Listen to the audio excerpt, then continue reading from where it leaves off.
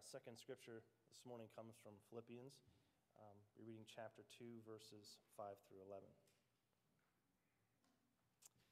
Have this mind among yourselves, which you have in Christ Jesus, who, though he was in the form of God, did not count equality with God a thing to be grasped, but emptied himself, taking the form of a servant, being born in the likeness of men. And being found in human form, he humbled himself and became obedient unto death, even death on a cross. Therefore, God has highly exalted him and bestowed on him the name which is above every name, that at the name of Jesus every knee should bow in heaven and on earth and under the earth, and every tongue confess that Jesus Christ is Lord to the glory of God the Father.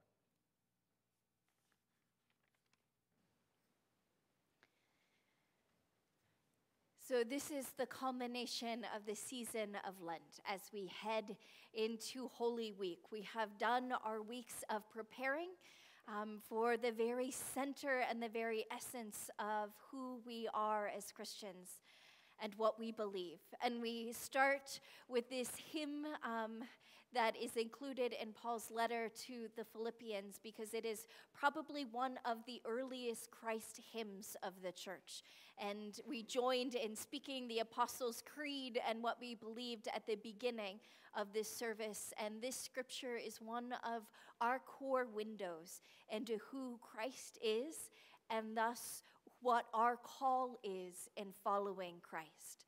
And, and it starts out with Paul urging the church of that day to have the same mind as Christ Jesus, to be able to model ourselves after him and not thinking of power as something to be exploited, but instead emptying ourselves, even when it's death and even when it's death on a cross.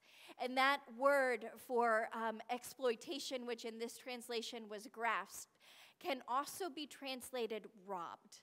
That Christ did not use or feel use his divine um, power to be think it was something that could be exploited think that it was something that could be robbed um, which takes us back to the very beginning of Lent um, with the story of Adam and Eve and original sin, and trying to rob the Creator of the Creator's power to have an extra level of control ourselves and knowing what is good and evil and being like God.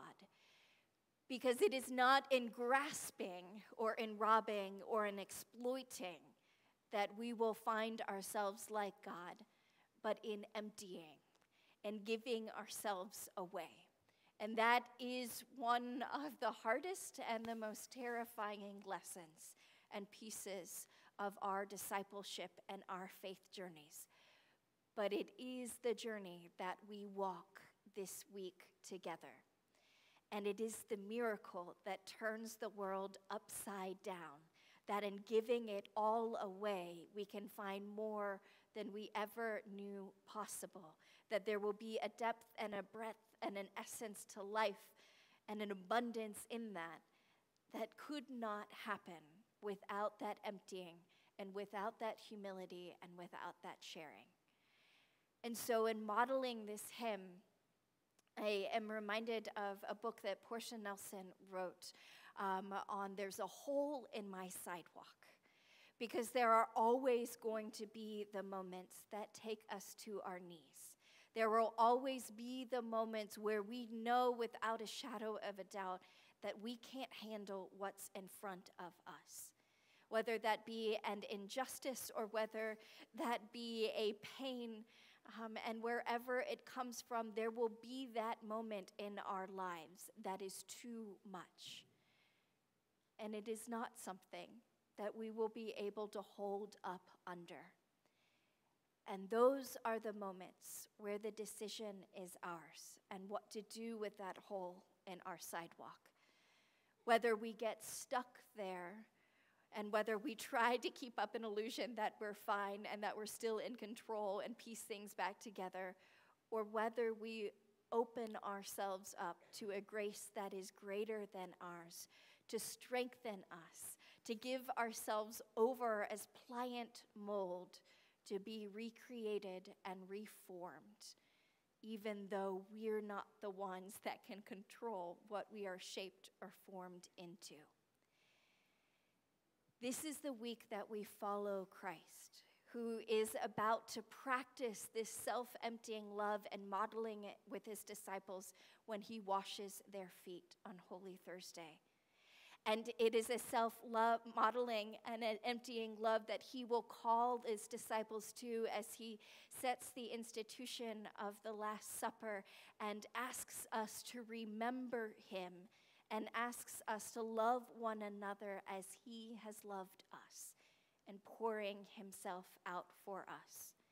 And he will ask us to pray with him, and he will model what it looks like to pray sweat and tears and blood, praying that this cup be taken from us, but then modeling what it means to, even though not wanting to go through what is before us, to accept it and to allow space for God to work.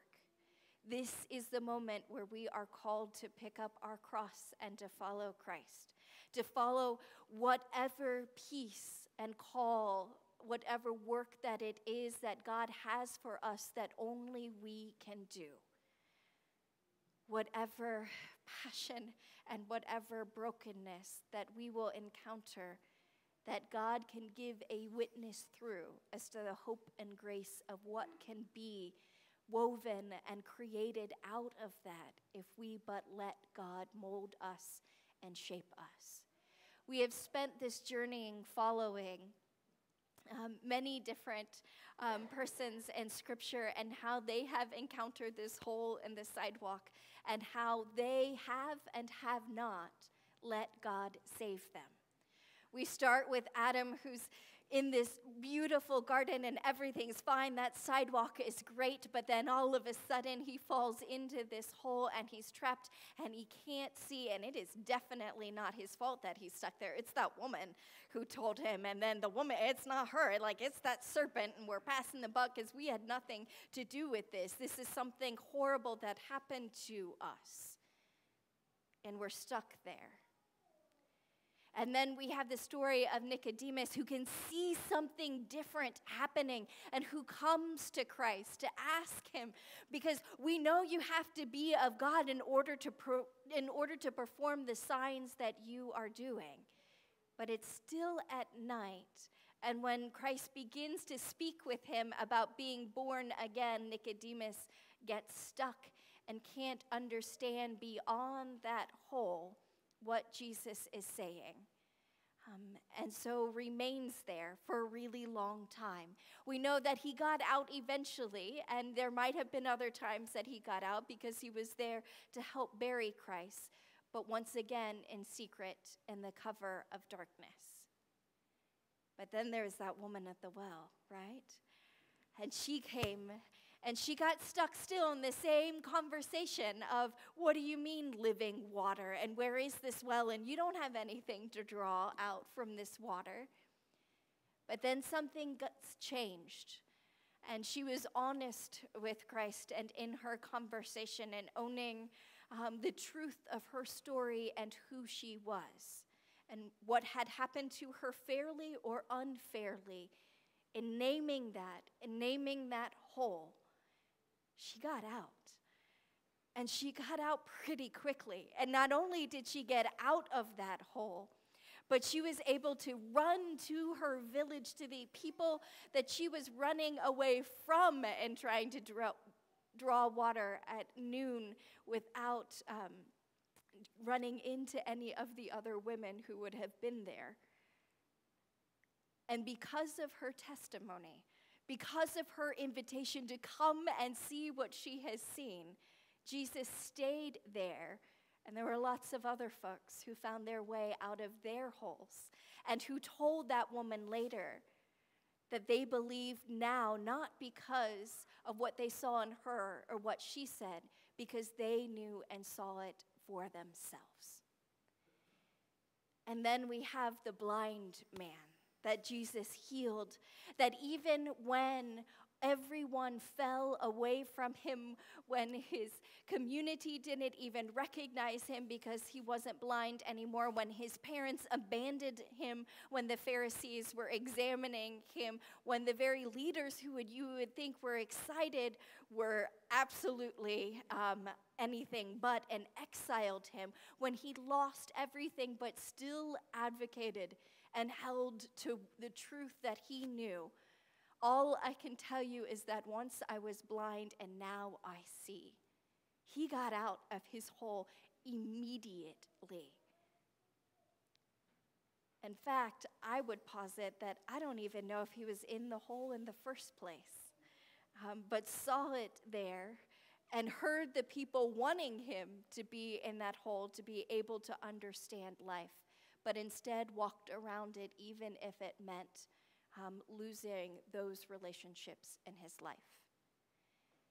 And then we have Lazarus, the friend of Christ, and Mary and Martha, who is raised to new life. Because what it is, is about knowing the holes and knowing the temptations and knowing the pitfalls that are a part of our lives, of knowing went to cry out, Lord, if you had just been here, he would not have died. And even in those laments and in those darkest hours of everything crumbling around us, to still hear Jesus' voice asking if we believe in him.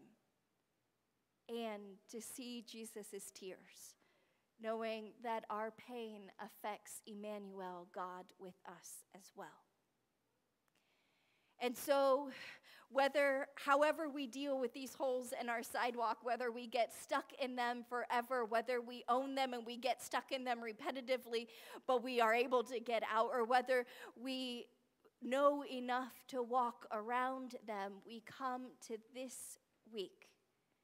And this is the week that Jesus tells us to walk down a different street and get rid of that sidewalk and that hole altogether. And that different street is one of self emptying, is one of coming in for salvation, but not in military power and might, as the emperor would have marched in and in his white charger of a horse. I don't know if it was a white horse in perspective, that's too many movies in my head, and that's what I picture. Um, of charging in in the triumphant entry and the show of power, but instead on a donkey comes in to be a king, but to be a king of a different kingdom, to show the power of walking down a different street, of not only with um, lead us, and not only stopping in that prayer of lead us not into temptation, but to find a way forward where that temptation isn't even present. And so we come to this day to a question of will we let God save us? That is what the cry of Hosanna means God, save us. Be our Messiah, be our anointed one. Show us the way that we can't even imagine because we're so stuck on the hole that we see in front of us. And you know who is shouting and who is welcoming him in? The crowds. Think of the Samaritan woman at the well. Think of the blind man.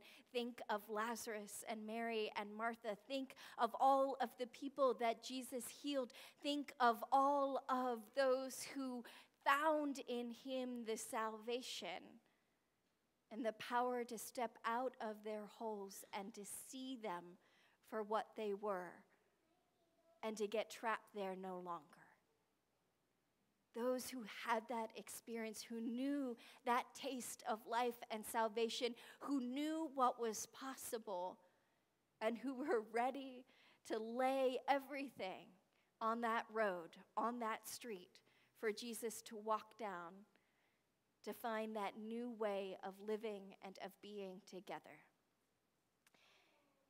Now, walking down a new street is not an easy thing to do because we know our way and we can do it on autopilot. And walking down a new street requires an intentionality and a presence that a lot of times we're not used to giving and to putting into life.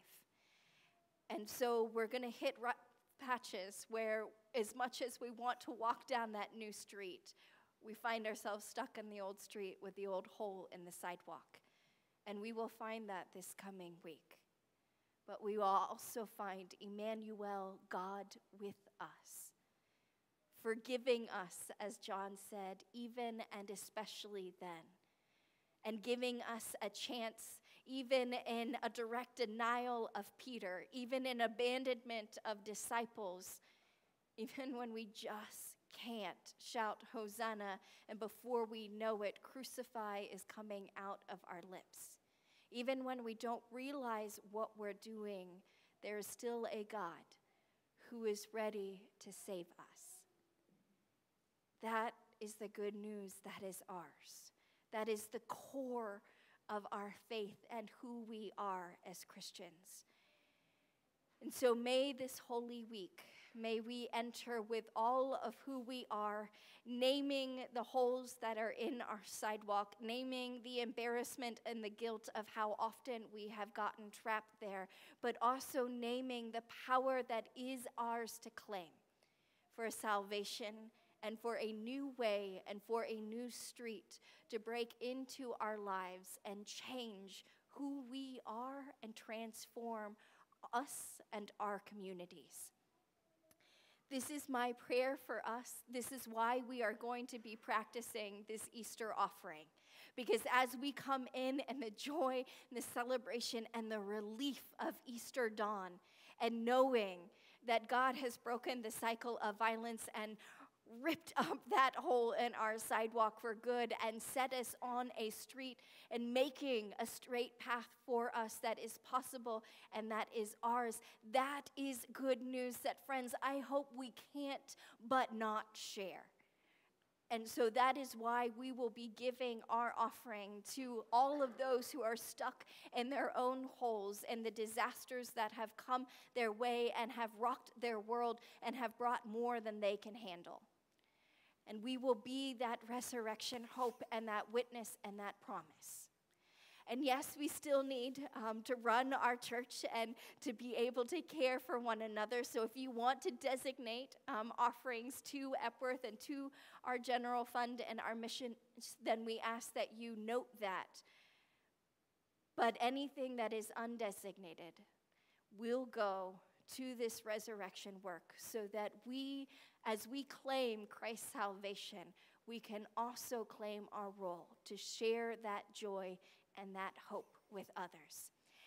And so may we commit this week to walk this journey together, to step by step follow Christ in the self emptying of not considering equality with God as something to be exploited, but who rather emptied himself and was obedient in humility, even to death, to death on a cross. That is the love and that is the call that we will step into this week.